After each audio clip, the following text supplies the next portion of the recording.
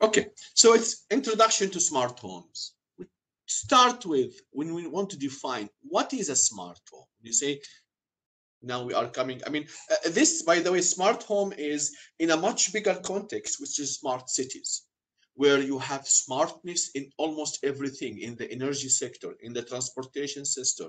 So everything now is transforming. Our life is transformed. So we want to understand when we hear this terminology, smart home what does it mean i mean are we living in stupid homes or what what, what what's what's what's the, the word smart what does it really mean so a smart home is uh, where we live as a residence that it uses internet connected devices. And this is a key word uh, there is a terminology that is used also maybe you heard this term which is i of t internet of things Okay, so the smart home is based on this idea that your devices now, appliances, lighting system, thermostat, everything is your home. Security cameras is connected by the, the internet. So this is the word IoT where it comes because IoT is an alternative way of, or it is a direct application of the smart home.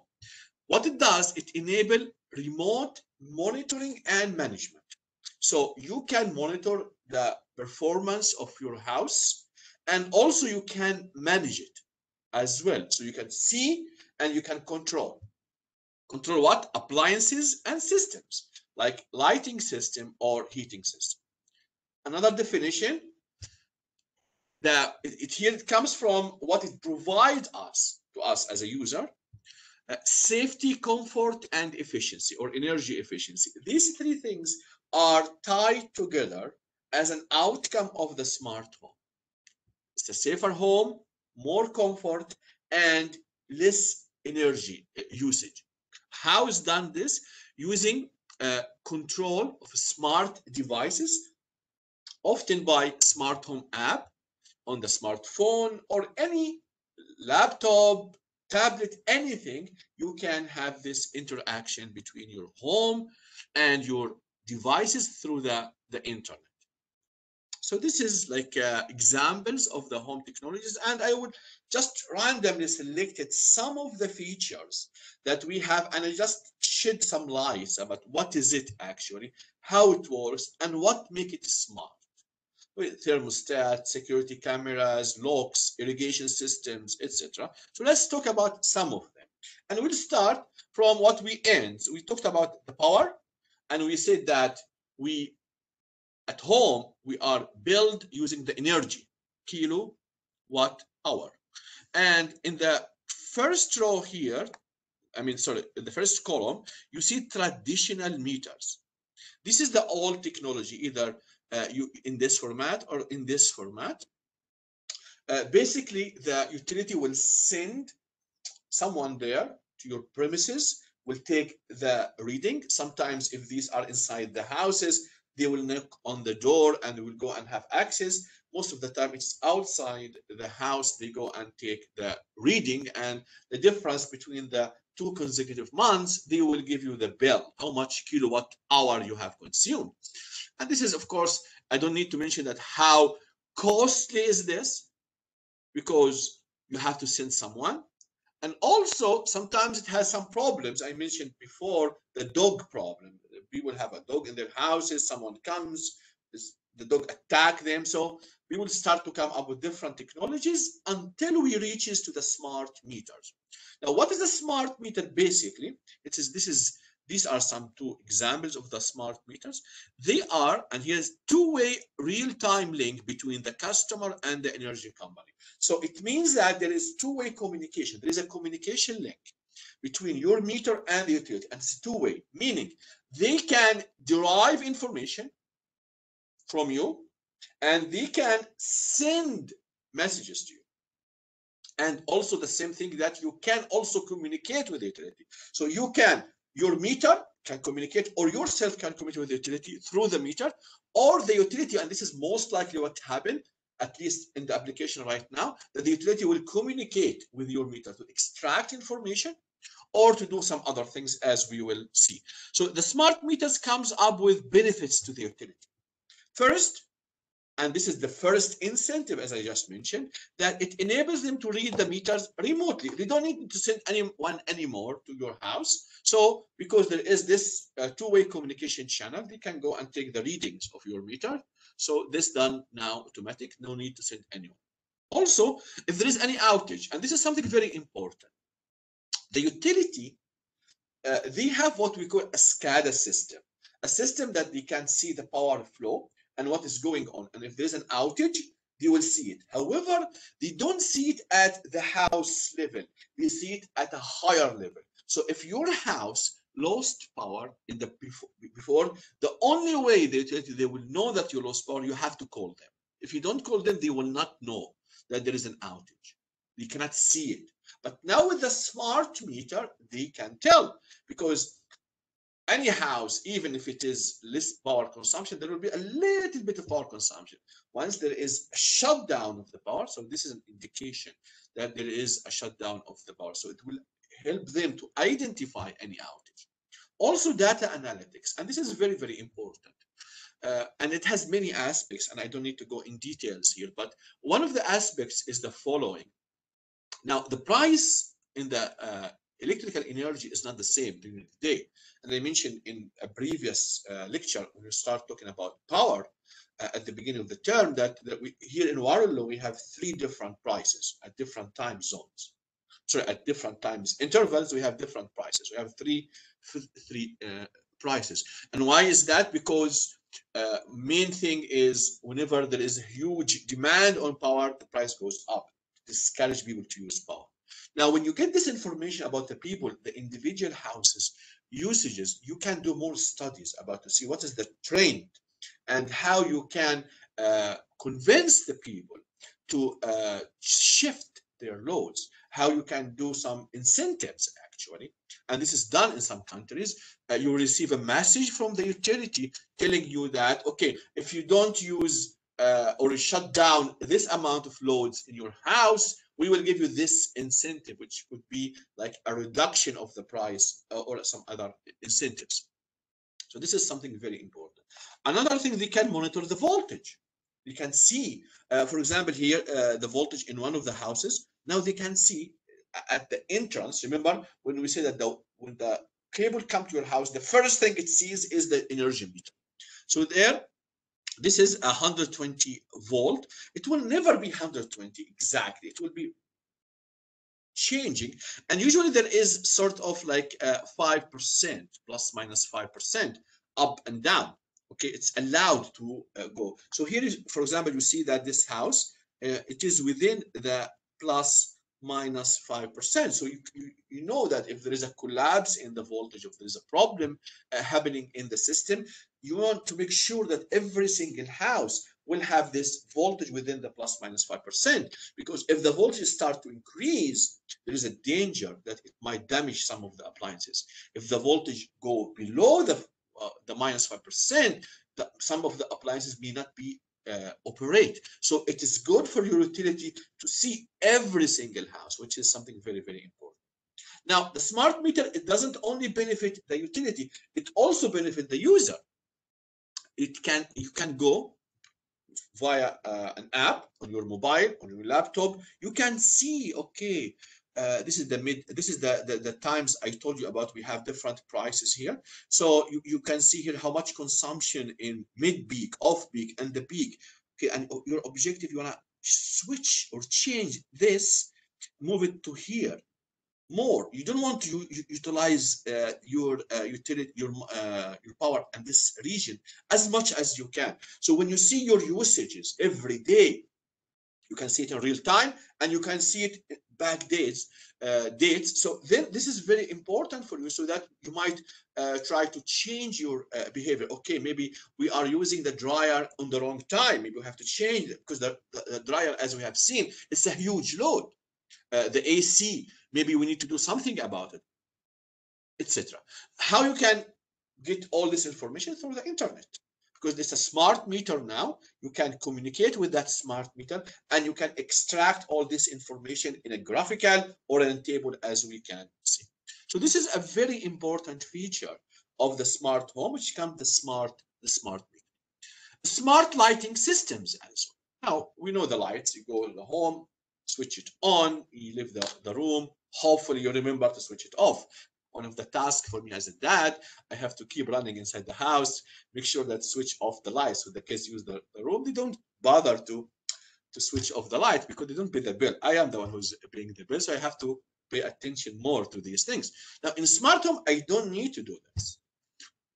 And for example, the light will be only on whenever someone enters the room. If there is no one inside the room, it will, be, it will stay off. And how is done that? Using a sensor, a motion sensor. And there are different types of motion sensors that can detect the movement. Some of them are based on ultrasound technology, some of them based on uh, IR, infrared. When someone goes inside, we our body emit heat okay? So it can detect this see that there is some person is coming inside uh, the room so the light will be switching on. So there are different types of technologies uh, that can detect someone. So this is very important. Second thing also the dimming of the light. It's not just on and off but also it controls how much light in the room based on the lighting condition in the in the window. So the light will increase or decrease based on your needs, based on your comfort. It's not just an on-off uh, switch. And how it's done? This is using photo sensor. You have used the photo sensor, I believe, in one of the experiments, which is uh, a resistance that changes its value based on the light. How much light it receives, the resistance will be changing. So this is a sensor. So based on this, you can switch on and uh, or make the light dims uh, or make it brighter. Also, it can be controlled remotely. I am in, in, in the work and, oh, I forgot to switch off the lights. No one in the house. Then I can switch off the lights using from my mobile in, in, in the house. Sorry, in, in, in uh, outside the house. Also, I can program them to switch on and off at certain times if that is convenient to me. And we look here, uh, uh, this is a typical smart system. You have the phone where you connect things okay so the, the, the phone you can communicate with the lights directly uh, using uh, uh, Bluetooth, for example, as a communication channel between you and remember, smart devices, one of the aspects is that it has to have communication between your devices, internet-based devices, and the device itself. This is one of the feature that the network, the communication network. Uh, also, sometimes you can communicate with uh, other using, uh, for example, Wi-Fi, internet. How is do that? Through the cloud. Now, Dropbox and all these now applications, now many people, they don't save their files on their computer, on the cloud. Now, the cloud is a very integral part of the smart homes where you can save data, you can communicate through the clouds, uh, and you can switch on and switch off using the Wi-Fi instead of the Bluetooth. The Bluetooth has a problem that it can only work if you are in the close proximity. If, if you are inside the house, the Bluetooth range is, let's say, 100 meter max. Well, practically, it's less than that. So if you are far away from the house, you cannot switch on and off the lights using Bluetooth. Then you have to use the Wi-Fi and have to access the internet through the through the cloud, for example. Smart thermostat. Now, I'm not sure if you have seen these thermostat before, but I have seen them. This is a very old one, analog one. You just uh, select the temperature setting here using a sort of uh, physical knob that you move it by your hand. Then we come to the digital ones where I have something like this in my house. Okay, where you go and you set the temperature uh, and maybe you can do some other things. Now, the smart thermostat, they have something even much more than this. Now, yes, you can control them remotely, again, by the internet. Remember, the internet, the remote communication is an integral part, but it's not that only. Also, the smart home, they have something intelligence. They learn from your behavior. You will learn that, okay, that you come to the house at certain times so they will adjust based on your behavior. And how is this is done using machine learning?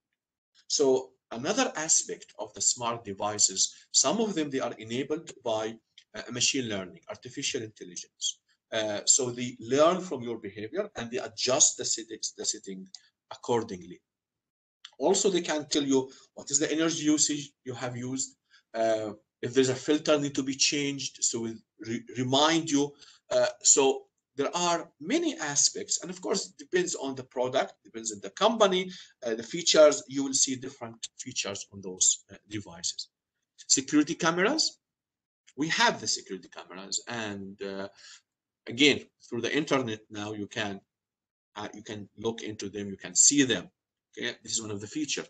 Another important feature, interesting feature, that the camera themselves they can differentiate between residents, visitors, pets, and burglars. How is that? This can be done using again artificial intelligence and image processing. Uh, you can teach the system that okay, these are my visitors, these are the, the people who live in the house. Then uh, by uh, face recognition, which is one of the basics of machine learning and image processing technique, they can tell. Uh, they can tell if there is a pet that is a thing that is moving. Okay. Again, now with uh, if you heard the word deep learning, deep learning. This is the new trend in machine learning, deep learning. This is a huge topic now where you can identify the objects using their images. So you can tell if there is a pet, if there is a human being there. And now if there's a human being, you need to differentiate and you have like a, two different layers. First, is it a human being who's entering the house or a pet? If it's a pet, it's okay. It's a human beings now, is this is a resident? No. Is this a visitor? No. Then it's a stranger. Then you can get a warning uh, to your to your house appliances as well, like washing machines, like dishwashers, like uh, fridge. You can now uh, program them uh, so that they can receive from the utility a signal now. Okay, now you can uh, switch on. And and how is that this is done? Uh, the outlet itself the socket that you connect your uh, your uh, appliance to it it can be controlled by you so that you can manually switch it on and off or you can remotely switch it on and off or you can have access to the utility. And this is the future. And this is not yet done on a larger scale but start to be uh, practiced globally so that the utility they have access. They can switch on and off uh, your uh, so you, the, you, you need to do your appliances. They are i mean your dishwasher for example. Everything is already there. And the utility will okay switch on uh, your uh, they have the access. If you want to if you don't want it's up to you. Uh, usually de depends on the contract you have with them. There are certain incentives. And again the major thing here is the smart meter where all the communication is done between you and uh, and uh, uh, utility. So now you can control on and off remotely your appliances. You can schedule them. You can give access to the utility so that they can switch on and off your uh, your devices. Not everyone is comfortable with that, but it depends on the, the people, depends on what you want to do and what you want to achieve. Now, what are the components and the challenges of a smart home? Now, after all of this, these applications, the first and one of the most important thing is the sensor. The sensor is something very, very important. Any technology I talked about, there is some sensing device, either sensing the voltage or the current or sensing the temperature. Uh, for example, uh, there are some sensors to uh, tell you the quality of air. Uh, and there are many companies like Bosch and other companies, they are interested in this technology. They make sensors, they can detect any uh, compound that is harmful to our body. Uh, and these sensors are extremely small, like two by two millimeters. So you have them inside your house. And those sensors, it's not just, a, uh, imagine two by two millimeter. And they upgrade them now to even to tell you what exactly the, the compound is a CO2, CO, what is exactly the harmful gas that is inside your house by integrating with the sensor machine learning. Machine learning is a code, of course, but you have to have a microcontroller. You have to have an intelligent system inside your sensor. And that's what lead us to what we call smart sensors as well. Smart sensor is an integral part of the smart home, a sensor that can detect, like a, regular sensor, like for example, thermocouples, uh, detect the temperature change by having a change in the voltage. But it's not that only now. This is the sensing part, but it has communication capability. It has intelligence capability to tell you if the temperature is high or low, if the gas is detected uh, bad or not bad, and how much and where. So all these intelligence now, they are, they are integral part of the home coming from the smart sensor. So sensors is a huge topic and we just touch a very small uh, part of it in this course. We touch very small group of sensors, but it's a huge thing. And those who are interested to uh, work in this, because uh, for example, I have seen students doing PhD from environmental engineering, uh, working with uh, what's what is uh, called network of sensors.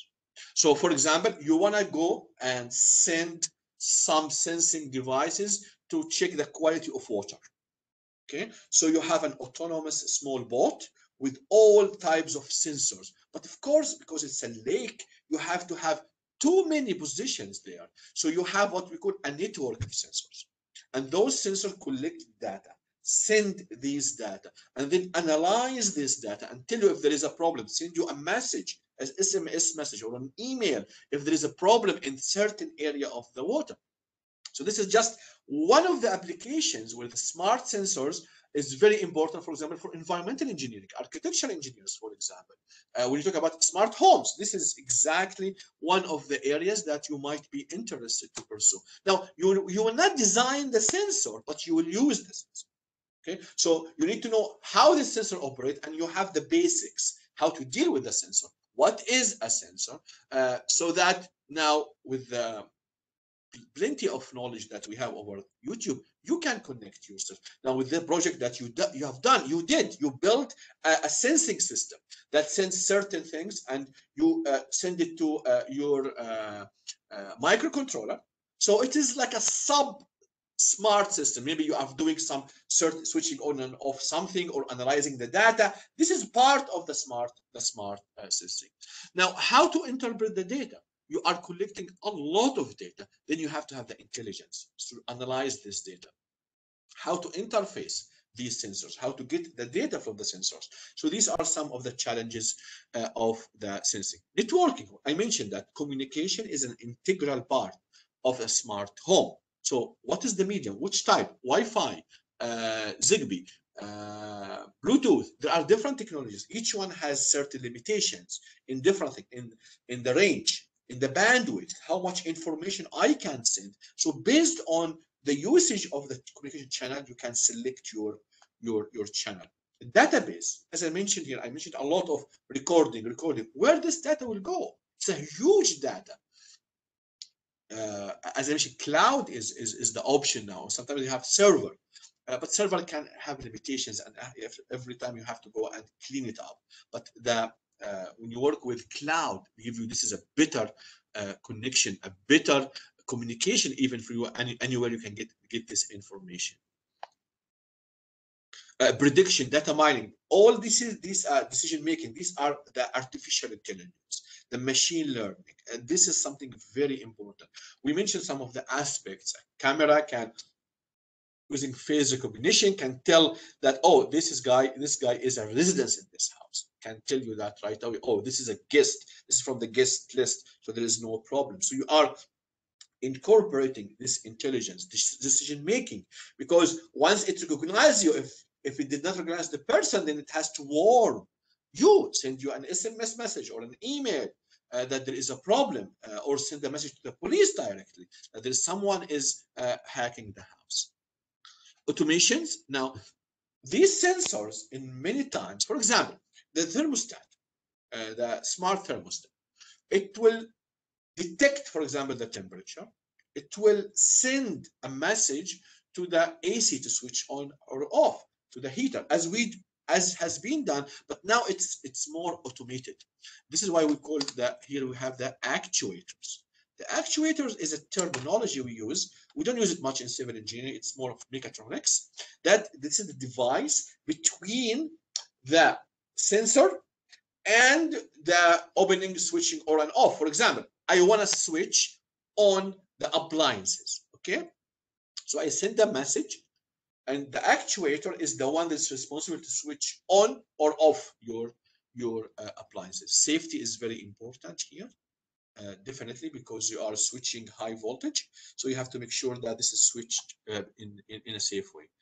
Privacy and this is we'll talk about that is very important. Now i mentioned many times communication. What if someone start to hack these communication channels? And now hackers everywhere. Now we see people hack the most secure communication systems. What if this happened to me?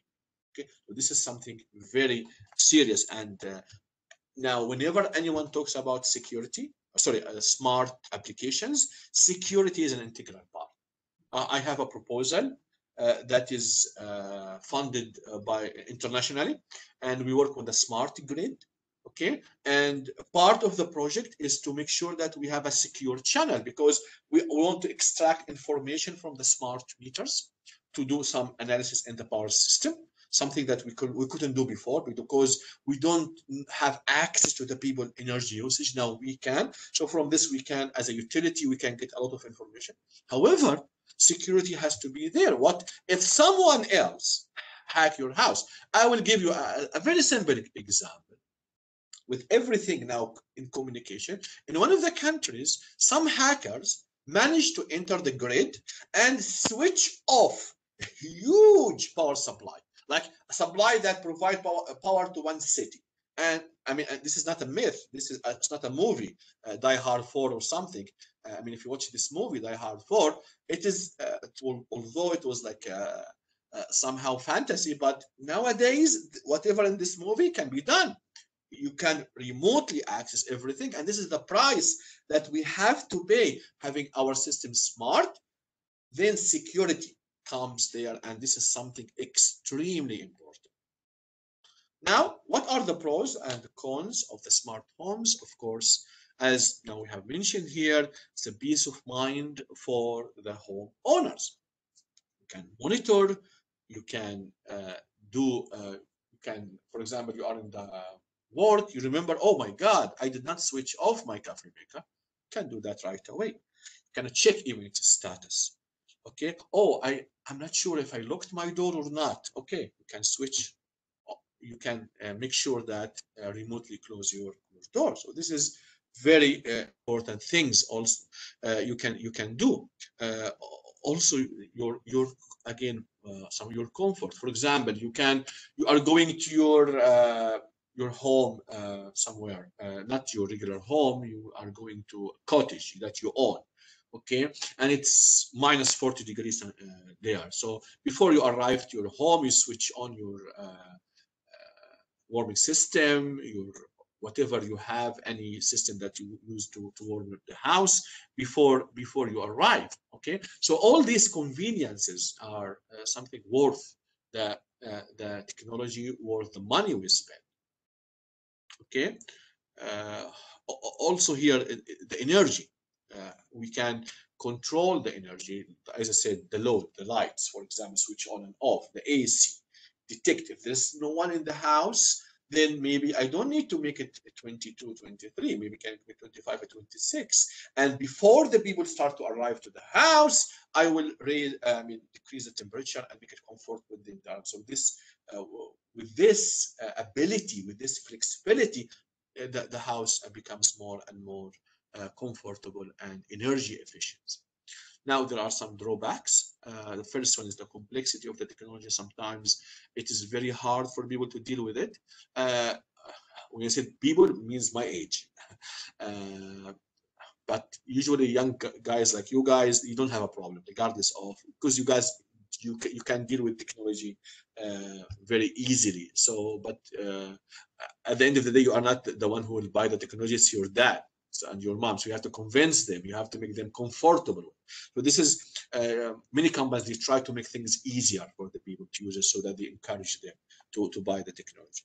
Now there are two important issues here. The first one is security. What if my security camera that is supposed to detect vulgar, some, someone hack it and someone hack my security system in the house and unlock the doors. so the system is supposed to be uh, done for my own comfort, security. If someone hack this, then they can enter the house without my permission. So as again here, I stress on the importance of security. Sometimes also privacy. Uh, people they don't want to know when I use my fridge. I mean, sorry, my washing machine or my dishwasher, and also these things can lead to security issues as well. If they know, if someone hack your house and uh, get your information about your energy usage, then the same person, what will do? They can attack your house because now they understand your your your, your behavior. So this is another uh, problems with with the technology. So no technology comes without a cost. There is a money you have to pay. Uh, you cannot get the comfort without uh, these issues. And the good news is that everyone now is working on this. And and what I just hear is just a glimpse of what a smart home is, but actually this is a huge topic. And you could have a course, complete course about just a smart home. If you talk about in details about the sensors, smart sensors, the uh, artificial intelligence techniques, the communication techniques, all these things in details. This is a course by itself. And this is something open for you guys, whoever is interested. Not everyone will be interested in this as civil engineers, but if you are interested, uh, the, the, objective of my lecture today is first to test you in the exam, few uh, multiple choice questions. Uh, second, which is more important, is that is to open this door for you and tell you, okay, there is this technology. If you need to know more about it, there's nothing preventing you from understanding more and designing. I mean, we talked about smart home, but buildings now, any building, commercial building, industrial building, governmental building, all these technologies I talked about, or at least some of them, they are they are incorporating this smartness okay uh, transportation systems they are incorporating this uh, this smartness. Uh, so for you as civil engineer working in different sectors uh, you will start to see the smartness coming there which is based on sensors. So you understand now by, by the end of this course what is a sensor or i am hoping that you understand what the sensor is. And you understand the energy the power that is because it's sensors and energy together can make the world more efficient and and safer. Okay? So uh, this is uh, the end of today's lecture. I will stop my recording now